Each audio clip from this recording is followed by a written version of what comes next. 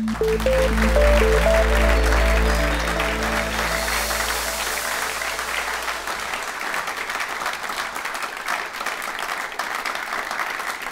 let's, um, let's see how we dealt with the deal. So we can finally eat that cheese, right? So we've like got the milk, get the cows running, uh, worked on it. Now finally we can get, yeah, you can see there in the background a nice cheese plate, some bread, perfect. So let's uh, let's look at some uh, some business analytics, some user behavior.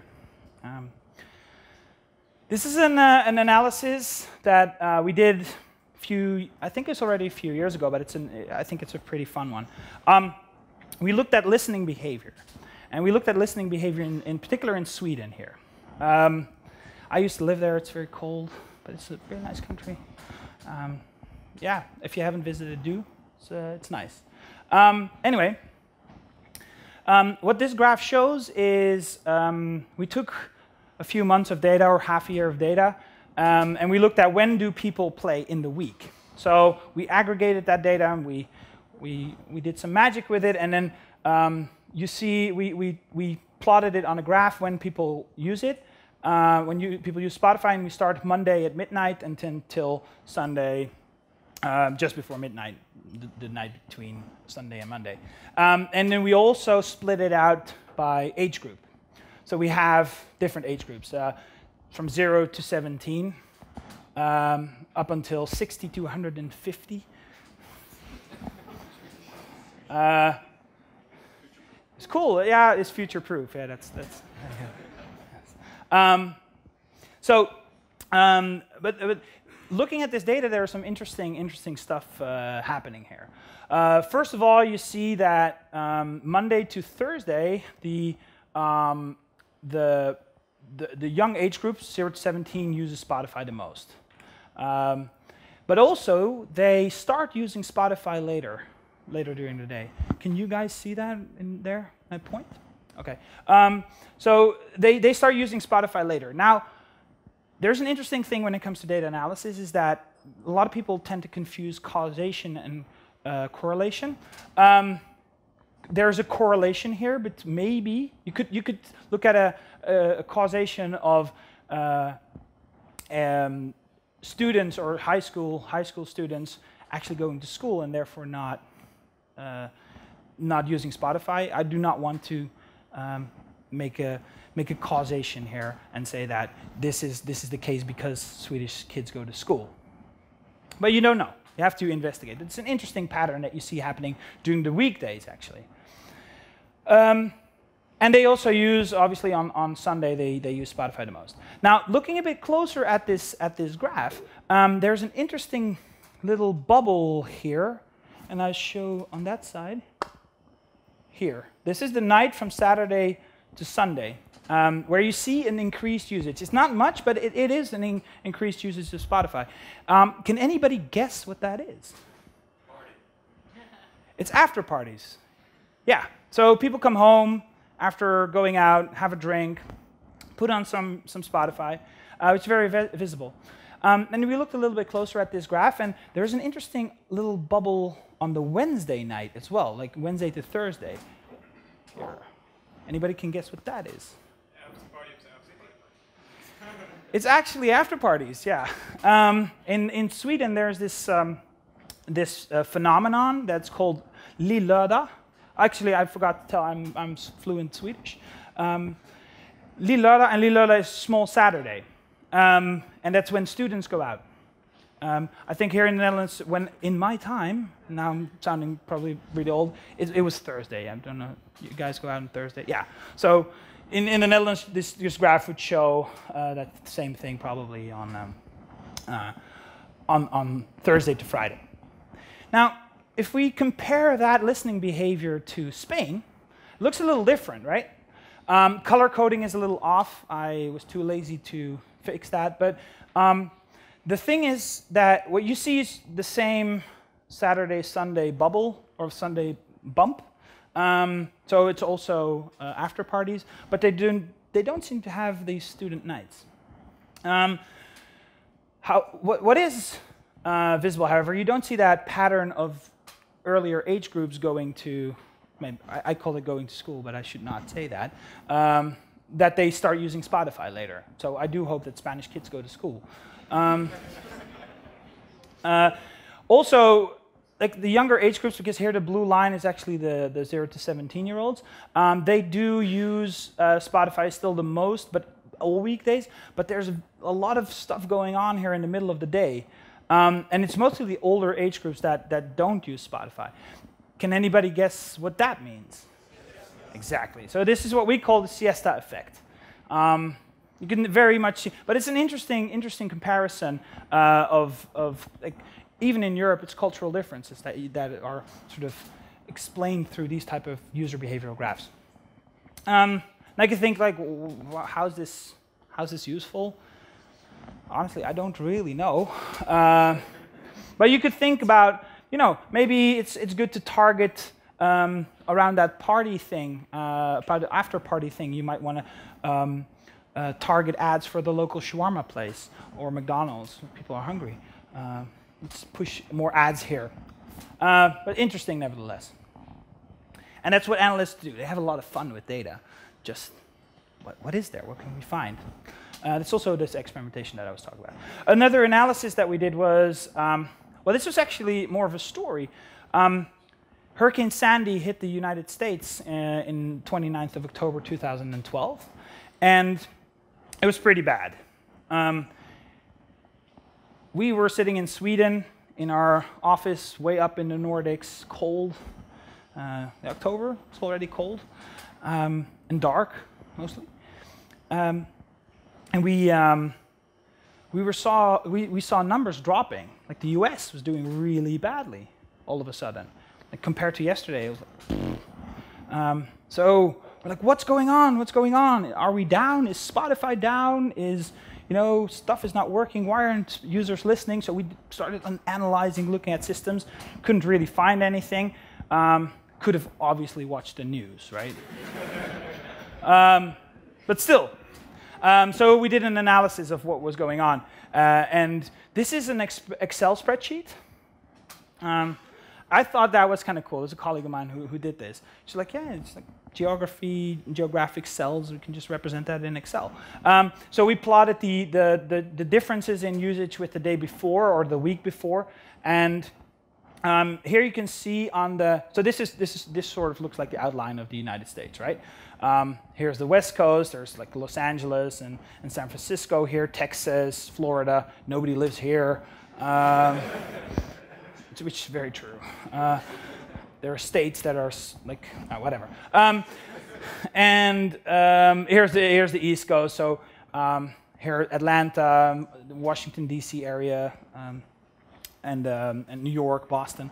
And what you can see here is that, and it's, it's not very readable on the screen, but there was minus 28% in Atlanta.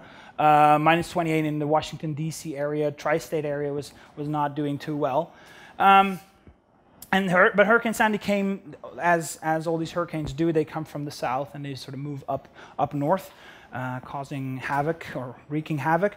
Um, and then if we look the day after, stuff has sort of calmed down in the south, uh, but you can see, um, especially around New York, Manhattan especially was, was hit very, very hard. There was no power for two days. Um, so we had minus 85%, so almost nobody used Spotify. Everybody, yeah, they didn't have electricity or they just bounced. Um, so it's interesting to see how, you know, how users behave and how you can correlate that to, to geographical information, for example. Um, we also do, as I said before, the Camembert um, business analytics. Um, or sorry, this is Cheddar. A mistake there. Um, artist behavior. We look at how artists perform, what they do. Um, this is Pearl Jam. This is how Pearl Jam does. This is a week, a day by day, how many streams. I'm unfortunately not at liberty to give you exact numbers here, but this is around, this is hundreds of thousands of stream a day. This is a very common pattern for established artists, uh, artists that haven't released anything in a few years, uh, that have an older um, listening crowd, have an established fan base. Um, Fridays, people listen most to Pearl Jam, and Sundays the least. But it's a very common pattern, nothing special. Um, now look at Daft Punk. Um, this is interesting, especially from a marketing perspective, because why is Spotify interesting for for uh, record labels, for example, is that you know at what when people play music and maybe even where, um, uh, which you do not really know when you you sell a, a CD. Um, CD, you might know the last point of sale, but most cases that you don't even know that. Um, but we can see when people actually listen to a track, and that's very, very interesting information. So what this shows is um, a graph from um, 2013. Uh, this is the release of Random Access Memories, which is which was in 2013 the best played album. Um, and what we see here is that somewhere mid-April, um, new single was released. Uh, Get Lucky, as I just shown before in a previous part, uh, three hours ago. Um, and there we saw um, uh, we saw we saw that the that Daft Punk wasn't doing uh, particularly bad. This was already hundreds of thousands of streams, and then they went up in the millions uh, just with that track, the one with Pharrell. Um, then we did a pre-release of the album, and when the album hit, this is 16 million or something, like in the range of like tens of millions. Um, and this showed the the um, and this really shows the power of marketing when it comes to music. The album, by the release of that single, but also the marketing campaign that that Daft Punk had done. Uh, they, there was a collaboration with artists. There was like stuff everywhere. You know, you could not if if if you didn't know that Daft Punk was going to release their new album after years, um, ten years I think it was, uh, you you're probably living on an island. So you can really see the impact of that marketing campaign in that way. This is what happen when, happens when artists die. Um, and I was laughing because Menno actually mentioned Whitney Houston as well, and that was that was that was we did not um, talk about this before. This is a serendipity at work, which is that uh, whatever funny. Um, so what you can see here is that Whitney Houston died. Um, I think it was in, in March. Uh, February or March 2012, and um, she also here she wasn't doing very badly. This was also hundreds of thousands of streams. As an established artist, um, that people listen to, uh, and people who love The Bodyguard. Uh, so, but they, they were do, she wasn't doing too, too badly. And then all of a sudden, in one day, she jumps to like, this is also tens of millions here. Uh, she was also unfortunately forgotten quite quickly, uh, which is kind of sad. Uh, however, she came out stronger. It's maybe a bad, bad joke, but um, it was very inappropriate. Um, but she, she, she, she has more listeners um, uh, now, and that's, that's because she ended up in a lot of playlists from people. So people had, have heard the song because, oh, yeah, Whitney Houston on TV, she died, horrible, and started listening to her like, hey, yeah, that's actually, that's not too bad, or it's a good song. Uh, she, she ended up on my playlist, even though I like Pearl Jam. Go Whitney. Um, I think you guys know this guy. Yeah. Now, it's a little bit of a funny story. I was, I was, I had done this whole, this whole slide deck and presentation, and I, because you know, I don't visit the Netherlands too often, unfortunately, uh, but because of this, I got, uh, had the opportunity to visit my dad, um, who apparently is more in social media than I am, um, which is kind of cool. He's like 66, and he does all the YouTube and his Spotify and things. Uh, anyway. Um, he told me like, yeah, have you heard about John Lennon and Imagine and stuff? And I, uh, do you even know that there were, there were terrorist attacks in France? Like, yeah, that, that I got. But um, the, not the guy playing the piano. So he, he showed me, and um, he's like, yeah, it was a big thing, and especially here in the Netherlands was big because there's this whole debate about the top 2,000, I think, uh, because finally Queen is not on uh, number one anymore. Um, I did not know, and I'm like, yeah, old man, uh, for sure, really? nah, I don't believe you. And then I looked in our system and I actually looked at the graph and the man was right. Like it's a big deal. So this is John Lennon. This is worldwide. Uh, again, hundreds of thousands of streams, maybe even more. And then the, the attacks happen there exactly where the graph, um, graph goes up. Um, and then again, he ends up in playlists, and uh, especially at the end of the year, you have these recaps of the year, all these lists of best things and worst things and whatever. Um, so yeah, there's there's still a lot going on here. Um, one more uh, interesting artist analysis that we did was um, we um, Jay Z was doing a, uh, a, tour in Europe. Everybody knows who Jay Z is, right? It's like big badass rapper. Uh, I think he's cool. His wife is beautiful. Um, anyway, I'm di digressing here. Uh, so he um, he uh, planned his his tour in uh, in in Europe and uh, Sweden uh, often gets confused with Switzerland. It's not the same thing, um, but small country. It's a large country, but not many people live there. So what do you obviously do if you're an American? Anything like I'm gonna go into Switzerland or Sweden, uh, whatever. Just pick the pick the capital. So he planned his tour in um, in Stockholm, um, but then the record label came to us like, hey, can can you guys run an analysis on where his fans actually are? Um, yeah, we could try. So we um, fed our cows uh, some grass, uh, some cheese came out, and um, it turned out that most of his fans were in, in Gothenburg, which is this, this is the second city of, uh, of Sweden, and it's almost half the size of Stockholm. So, but more fans were on that on that part of the of the country. So you have Stockholm on the east coast and, and Gothenburg on the west coast. Most people were on the west coast. So we gave them that information, and then he says, "I'm going to move my gig, yo." Um, so he moved his gig, which was that was really our first um, sort of analysis that we did is like, wow, this is pretty amazing. You know, like this is what we can do for artists. Now let's talk a little bit about product analysis, and this is my last last part here.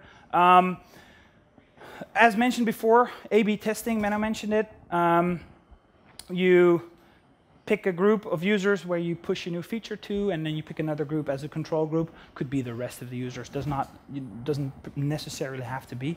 You can tweak all sorts of parameters there. Um, so what we did, and this is some time ago, um, we looked at how to improve the sign-up flow through Facebook. Um, as you might know, you can sign up with Spotify with, when you download it on your phone and you sign up there, or you can go to spotify.com, sign up. Um, but also one, one way of doing it is um, through Facebook. As soon as you're, when, when you're not a Spotify user yet, you get a, um, you get the feed and you see your friends listening to, uh, listening to music. Um, I thought, oh, that's awesome. I want to listen to that particular track. Um, what does what happens is that there's a pop-up, this pop-up behind me, um, and it says, "Do you really want to do something with Spotify?" In our case, it says, okay, listen to music, but that's not, that, that's not where we started. Um, the original button that you get from, from Facebook says download. Um, and they were thinking, like, yeah, download. Hmm. Could we do something with that text? Can, can we do just, just only that text? Um, so we changed it for 50% of our users. We changed it to okay listen to music, and for 50% of people, we kept it to download. And this was a pretty dramatic uh, test. This is really a sort of all or nothing kind of thing. Um, but, um, and this is obviously for new users. Uh, and there was a massive boost in, in signups. We had like three times, so that's 300% more signups with, with the OK listen to music than, than when we only show download. Um, and it's explainable. Um, downloading is scary. I don't want to download software. I just want to use it, and uh, I want to listen. No, what I want to listen to music. So just by changing that text, 300%. Now then, we thought, okay, we, we got this. We, we're we're great with this now. Know, now we understand. So, you know, we just give the users more information. Um, we put a screenshot of Spotify in the background and we ran a test with like cool cover art of stuff that you might like. Um, we started auto playing music, the music that you had just clicked on. Um, and we gave very clear download instructions. Now, can anybody guess what happened? This went worse. This was a bad idea. Um, so we didn't, we stopped doing all these things. Uh, we saw people like auto playing music, like, ooh, that all of a sudden stuff like music comes out of my computer. I wasn't that ready. Um, and uh, some of the things didn't really matter, screenshot in the background, but um, it, it, it, either people did not sign up, or uh, it was the same as just that, that message, okay, listen to music.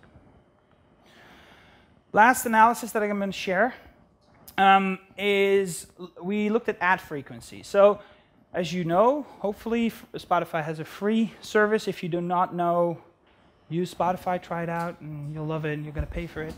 Mm. Uh, but the ad, yeah, honestly, our ads, our, our ad version is very, very important. Um, and uh, it allows for people to, to listen to music. Um, so, but then the question is like, okay, we, we put audio ads between, between songs. Um, how often do we do that? Um, so in this case, I visualize this with my awesome PowerPoint skills, um, some foo. And um, so you, you, can, you can look here. So you have song, song, and then a, a, a, big block of ads. This could be like three ads or something. And then you have a bunch of songs again. Um, but you could also, maybe we would like to try out like more frequent, but then smaller ad breaks. Um, and we gave a bunch of users one, ver one version and a bunch of users the other version. Now, can anybody guess what the result of this was? So what, what, what would you prefer?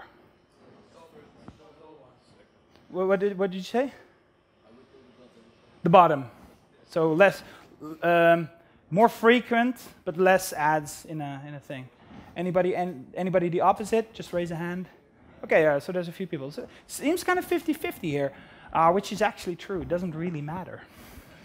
But we learned that, right? Not everything can, can be an improvement, but we, we learned that, the, um, that it does not matter at all. People do not use your product differently because, because uh, uh, ads work differently. I could talk about this for hours, but I don't have, have that much time. Um, so a little recap. Um, for us, data is very important. Um, as I said, in these, uh, we have basically three pillars of data. Um, the four different, four different cheeses. Um, we use data for reporting. We use data in the product. Uh, data is for users by users. Um, data is for artists, also by artists. And for us, data is large. 30 terabytes a day, that's not nothing. And, um, but if you compare us to Google, we're, we're ants, blips on the radar. Um, so it's all very, very relative. So that, that's all I got. I think it's um, what I wanted to, to, uh, to tell you more. Um, look at your, uh, your, your year in music if you're a Spotify user, spotify.com slash 2015. Um, I loved it. My dad loved it. He didn't know about it, so I had to tell him. Um, he actually made me add this link to the presentation uh, because like this is amazing. Um, so let's let's listen to some program now. Música